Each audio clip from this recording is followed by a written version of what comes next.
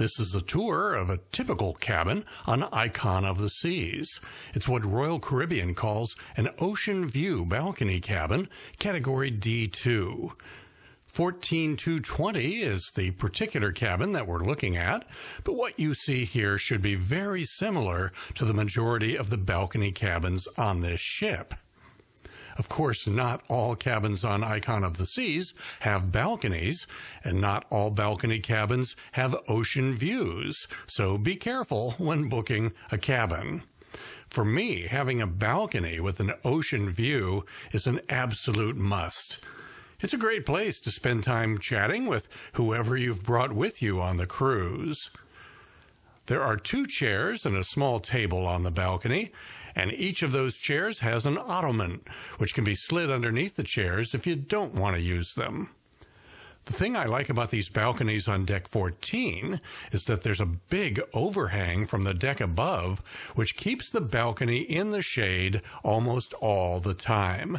And that's a good thing because on a hot day in the Caribbean, if your balcony is not in the shade, it can get brutally hot.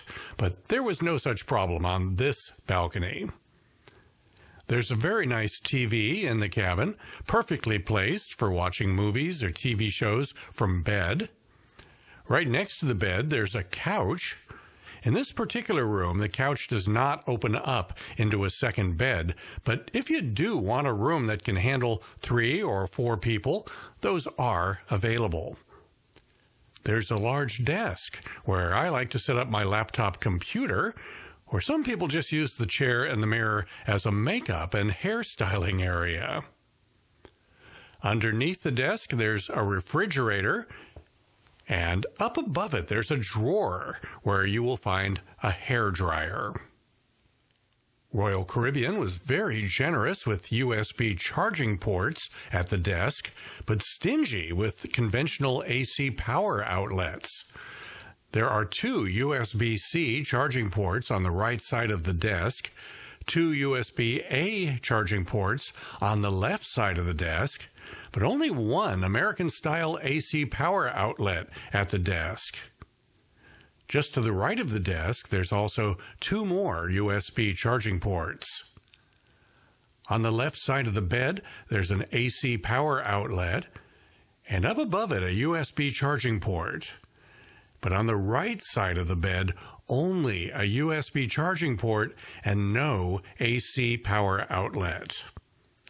There is ample room below the bed to store your suitcases. Let's take a look at the closet, which sits on the left side of the bed. Instead of having two individual closets for the two people in the room, like they do on some of the other ships in the Royal Caribbean fleet, it's just one large closet that the two of you can share any way you want. Let's start the closet tour with this mini closet, which is hidden behind the mirror. There's a safe for storing valuables like your wallet and passport, and several small shelves for storing a few odds and ends. Just to the right of that, next to the bed, when you open up the two doors, you can see the main closet where you'll store the majority of your clothes.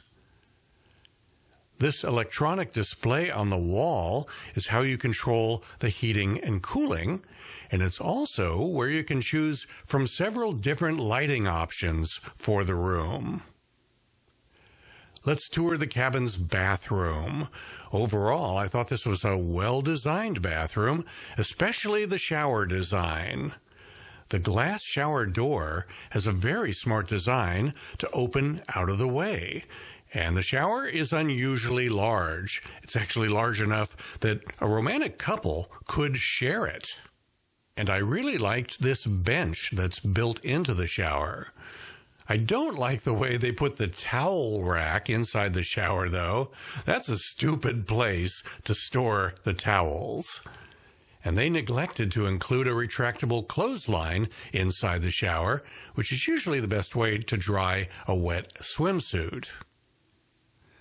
I was surprised to see two power outlets in the bathroom. I wish there had been two at the desk. But all things considered, I'd give these balcony cabins on Icon of the Seas an 8 on a 10 scale. And I think you'd be pretty happy with a cabin like this during a seven day cruise on Icon of the Seas. This is a great ship for families with kids. So many fun things for the kids to do on Icon of the Seas. But it's important to get a room that all members of the family can be comfortable in. So for a family cruise, this particular cabin I've shown you wouldn't work. It can only accommodate two people. But there are other cabins on Icon of the Seas that can accommodate three or four. Some of them even have an entirely separate room with bunk beds for the kids.